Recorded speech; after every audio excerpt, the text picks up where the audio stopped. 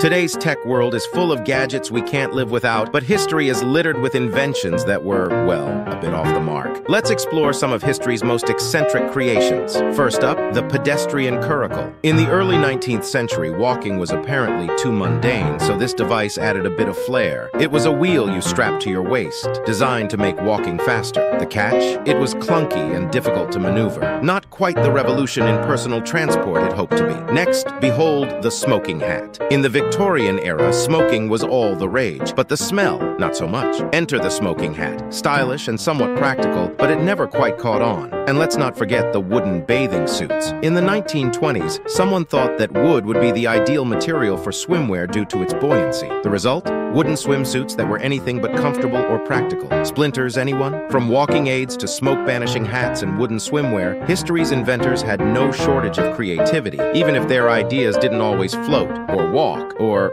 well, you get the idea.